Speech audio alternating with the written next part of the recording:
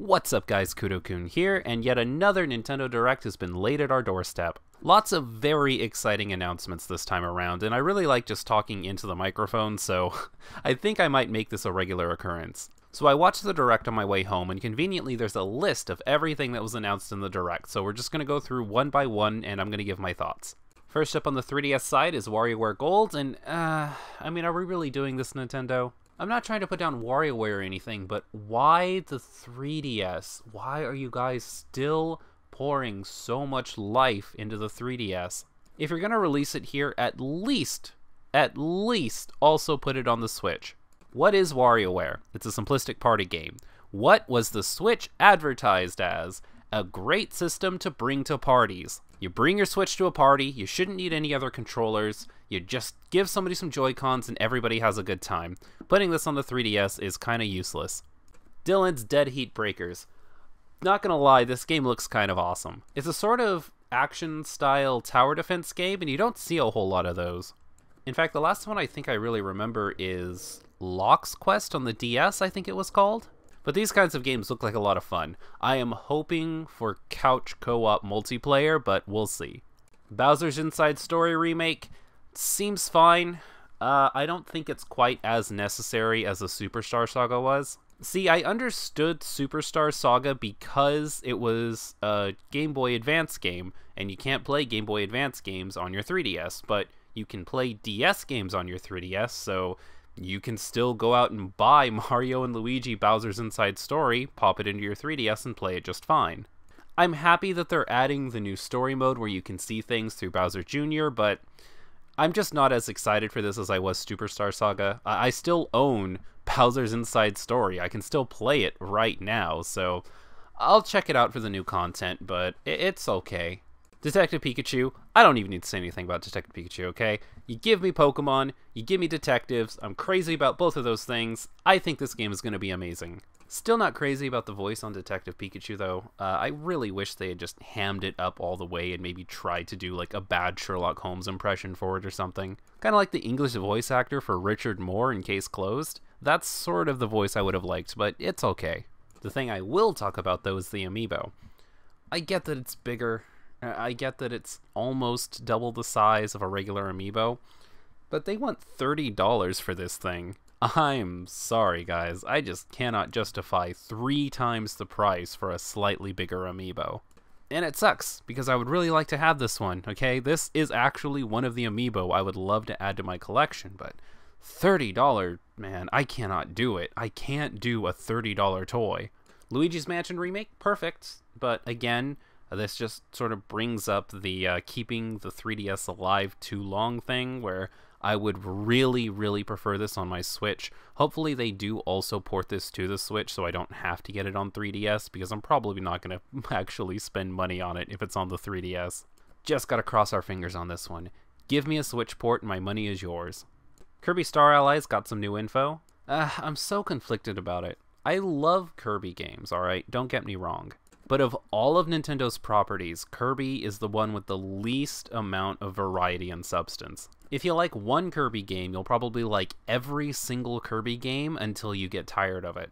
If you played a Kirby game and you didn't like it, then there's not a single Kirby game out there that will change your mind. And this one looks good, and the idea of just handing a Joy-Con off to somebody and having them go through the multiplayer with me, especially with Bandana Dee and Meta Knight and King Dedede and all the other animals that they announced, it seems like a good time. Is it $60 worth of a good time? Well, alright, let's back up for a second. I don't mind the 3DS Kirby games because they are $40, and I think $40 is reasonable for how high of a quality we're getting with these Kirby games, but I just don't know if $60 for a Kirby game is gonna fly, not today.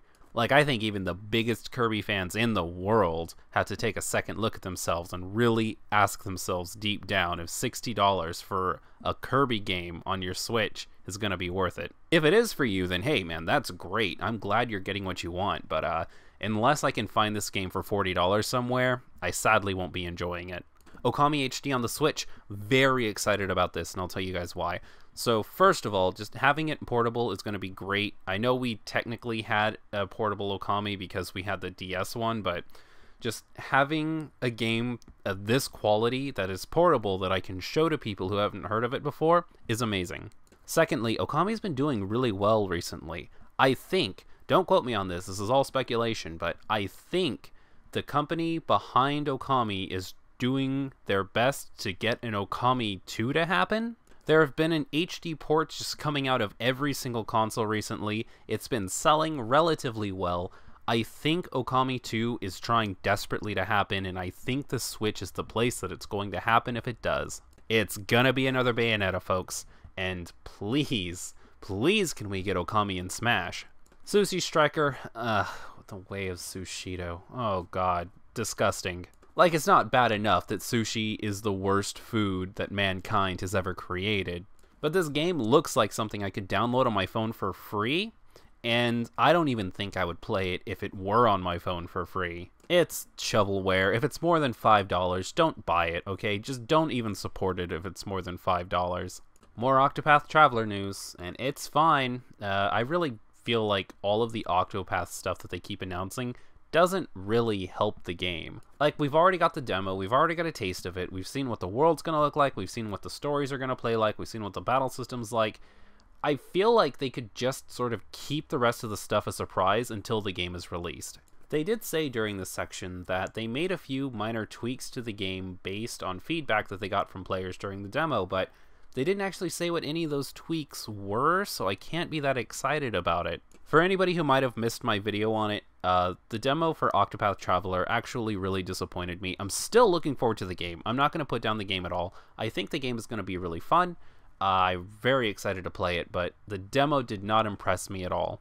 I don't feel like any of the information they announced is really changing my opinions of the game at all. I guess the one kind of interesting thing about it is the last female character they introduced was Primrose, and everybody got all up in a hizzy over it because she's like a female dancer. And now we've got a female merchant to shut all of those people up, and she's wearing a formal dress and she's got a giant backpack and she's not showing any skin at all, so hopefully people will just get off of their case.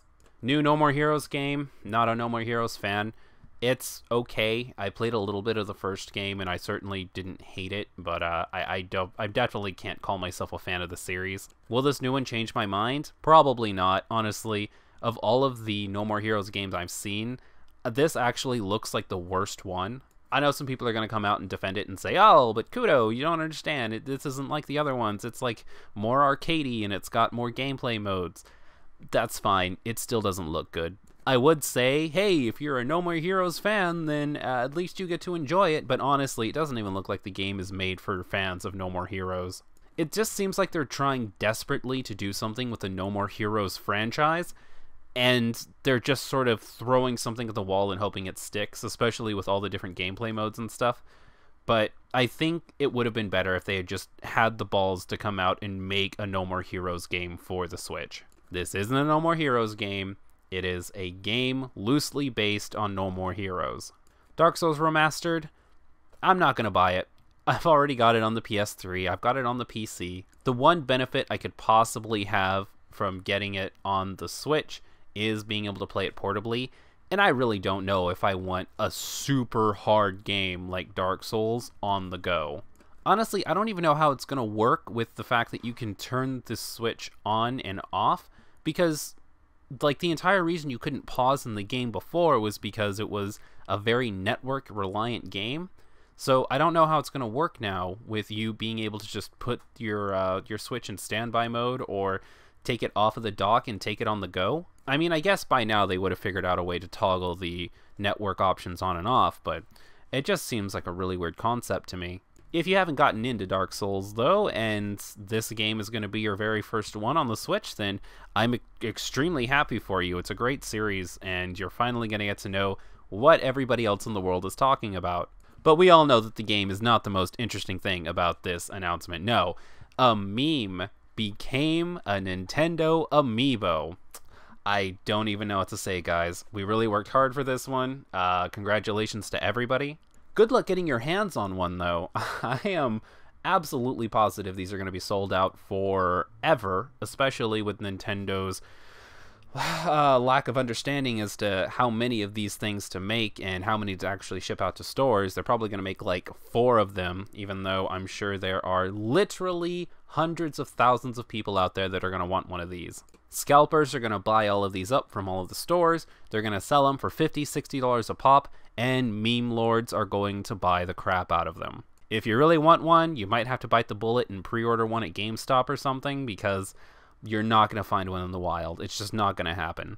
Mario Aces, it looks good. I mean, I'll be completely honest here. It looks like a really good game. I mean, we all know it was a cover from the real announcement that we'll get onto at the end of the video, but still, I think it looks like a really, really well made game. Am I going to buy it? No, no, certainly not. I have had my fill of Mario Tennis on the N64. I don't think I'll ever buy another Mario Tennis game unless I can find it dirt cheap somewhere. I'm talking $20 or less. If this thing costs $20 and 1 cent, I'm not buying it, okay? But if you're into this kind of thing or if you never got a chance to play any of the original Mario Tennis games, you should definitely look at it. It looks really good. Probably my favorite addition is the fact that you can actually break people's tennis rackets now, I think that adds a new level of depth to the game. It's going to be really, really interesting to see how competitive these games get online, especially with the fact that matches can be 2v2.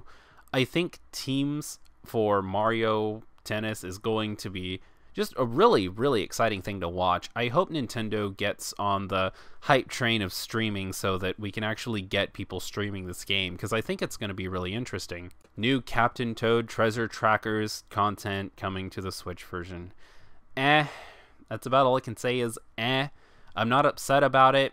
It was a pretty decent little time waster on the Wii U. If you didn't get a chance to play it on the Wii U, now's your chance to play it. But am I excited for it? No, not even a little. Undertale on the Switch. Very, very good showing. This is a weird one for me because I'm probably not going to play it, but I will probably still buy it because I know this is a really uncool thing to say here in 2018. It was a really uncool thing to say in 2017 too, but I am in the camp of people that believes that Undertale actually was a masterpiece of a game. I know, guys, I'm scum, I'm normie trash, but I legitimately had feelings over this game, and uh, I, I'm just really excited about it being on every console imaginable. My only thing is, though, I still I cannot wrap my head around how this game is going to work on something that isn't a PC. For those who don't know anything about Undertale and are planning on getting it, I will try not to spoil anything for you, but there are things that this game does that make sense because it is on a computer. Uh, it's a very meta game and I don't understand how those same things are going to translate onto a console like the Switch. Like, I guess I could see maybe a possibility of them using some of the Switch's features to uh, to subvert some expectations, but man, I just don't know. Like, I'm sitting here wrapping my brain around it, and I just I can't I can't see it. Regardless, though, every time I see it, I'm gonna throw my money at it. Can't wait to see what the creator does next. Crash Bandicoot N. Sane Trilogy on the Switch. I'm a little excited for this. So this means a couple of things. First off, Nintendo kind of lied in their direct. I think this was a mistranslation, but they said at one point that uh, this is the first time that Crash Bandicoot has had a game on a Nintendo console. That's a lie. Anybody who has had a Game Boy Advance knows that it's a lie. If they meant these games in particular, then oh yeah, that that's true. None of the original Crash Bandicoot games have been on a Nintendo console, but I mean, come on, come on. Anybody who has a Game Boy Advance knows that's a lie. I passed on these games on the PS4, but I mean, honestly, if it's a reasonable price on the Switch, if I can get it for like 30, maybe pushing it $40, then I think I'm actually going to get it. So, on to what makes this so cool. Firstly, I want to say that there's a chance, okay, there is a slim possibility that they are doing with this what I said they were doing with Okami, where they're trying to make Crash Bandicoot 4 a reality. And if they are and they're having trouble, I think the Nintendo is the savior that can pick up the franchise, give them what they need, and we can get a Crash 4 going. I'm hyped, okay? I'm just I'm so hyped for all of these these games that didn't get proper sequels that I wanted sequels to that have this new chance through Nintendo. And then, of course, everybody knows what the big announcement at the end of the direct was. Okay, don't sit there and pretend like you didn't know. Uh, they're announcing a new Smash Brothers. Crash for Smash, man. Crash for Smash 2018. Little Nightmares. I already have the Steam version, but let me just say that if you've never heard of this game before, or if you've heard of this game but you didn't actually pick it up, you should be excited for this on the Switch. It's a pretty fun game, and it's really interesting. I don't know why more people aren't talking about it. As far as horror games go, we haven't really had very many good horror games be released lately. Little Nightmares is one of the good horror games that I think if you're a fan of the genre, you should be very excited for. I can understand it not doing too well on Steam because there's just so much more competition, but like what other horror games are you playing on your Switch right now? Definitely keep an eye on it. It's a good one. South Park Fractured But Whole on the Switch. Uh, it's that's fine, I guess. I would really rather just play this on my PC, so I'm not that interested. The thing that does make this interesting though is I'm just I'm really really pleased with the way Nintendo has been handling things like this recently. When the Switch came out, uh, obviously Nintendo was the first console that hosted the Senran Kagura games, and they moved to a different console. And then Nintendo brings out a Japanese only Senran Kagura game that has full on breast mechanics, and you can dress a girl up, you can give her a massage. Uh, all of this really sexual stuff that you would never have seen on the Wii or the Wii U. And then, of course, Xenoblade 2 comes out, and they didn't censor any of the outfits. They didn't censor the way any of the girls looked. They did censor some of the dialogue, but the stuff that they censored in the dialogue was stuff that actually made a lot of sense. And then, after embracing sexuality, it seems like they've embraced violence and really hardcore, mature rated games with Doom, and they got Skyrim in there, and you've even got a game where Mario can use a gun now.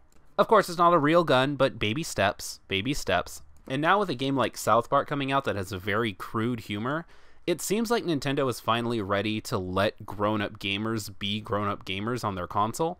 And you know, this isn't for everybody, obviously. Uh, there are some people out there that are going to be very, very turned off by the idea of sexualized girls in games, or of very violent games, or very crude games like South Park. But I think just embracing that stuff on a Nintendo console just makes the community better as a whole because it gives everybody a little bit of something that they want even if you don't like this stuff, you're standing side by side by gamers who maybe might want some of this stuff. So everybody ends up happy, I think. Hyrule Warriors, eh, nah, man, nah, nah, not again. Nope, nope, I'm good. I have the Wii U version, I have the 3DS version, and you know what? I think I'm okay. If this were like the only game of its kind that were on the Switch, then I might have slightly different opinions of it, but bros, we have Fire Emblem, we have Gintama, we have Azure Knights. I understand that this game is good, and it's one of the best Musou games out there, but man, man, I just can't do it a third time, guys. I'm sorry.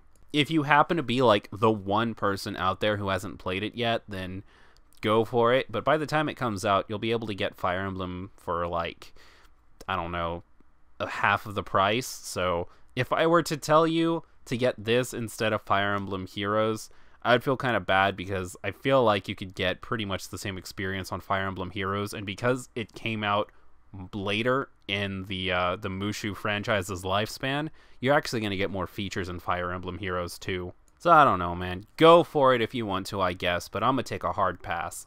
Splatoon 2 Octo expansion. So let me explain something to you guys about me.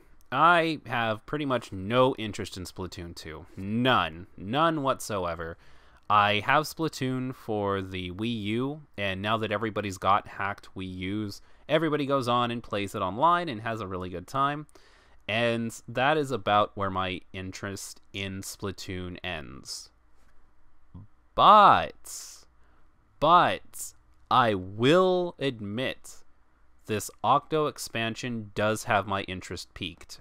I probably won't get it until after some info has been released on it or after it's already come out and maybe some people have reviewed it and I can look over it, but this Octo expansion thing might actually be the tipping point in making me get Splatoon 2.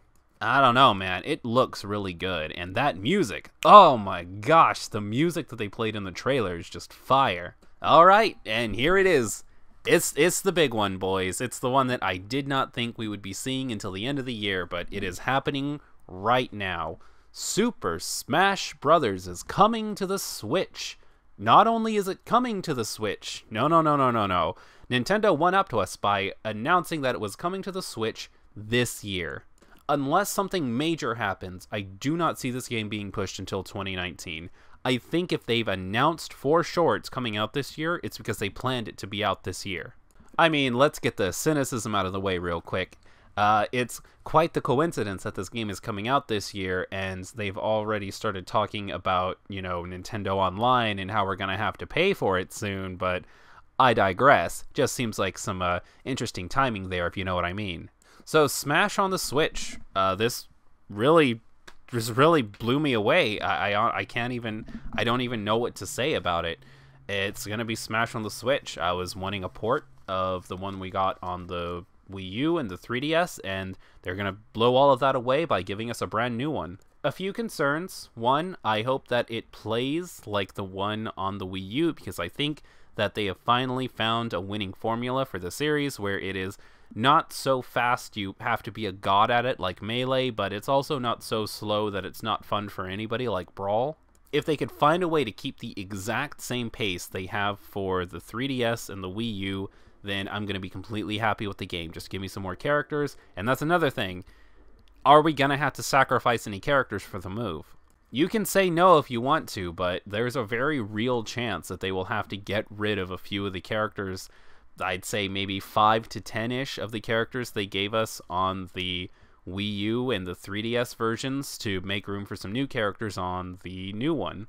Man, I hope not, though. Oh god, please, please let me keep Shulk. I am begging you, Nintendo. Just let me have Shulk. I kind of still want Ryu and Cloud and Bayonetta too. I want I want all of them, okay? I want all of them, but of all the characters that I played in Smash Brothers, Shulk is like my favorite all-time character of any game. So please just let me keep him. And then you know, if you have room for more wishes, uh, I'd really like to keep Cloud and Ryu and Bayonetta. And one more thing, if I could, if I could be so bold, let me just get down on one knee here real quick, Nintendo. please, please give me the ice climbers back. I didn't even use them for what made them so broken, okay? I didn't I didn't chain grab. I didn't do any of the broken stuff. I just I love them because they're so adorable. They'd better be here, Nintendo. I'm going to be very very unhappy if they're not. For character predictions, uh, because they're already announcing some HD ports on the Switch, I think at least one of them is going to show up. Uh, Okami and Crash are sort of at the top of my list right now. I think one of them is going to make an appearance. Because you guys have to remember, when Nintendo ports a game over to the Switch, it's not like they're just bringing the game over and not talking to the developers about it. No. Nintendo is in a line of communication with the developers when stuff like this happens, so chances are the idea of one of their characters appearing in a Smash Brothers game has at least come up.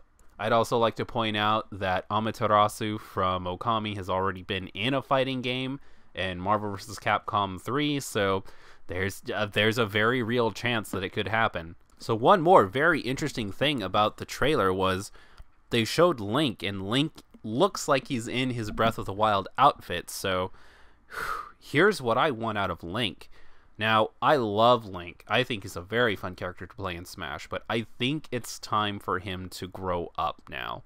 I think Breath of the Wild Link should be the new Link, and I think they should just leave Link's old move set with Toon Link.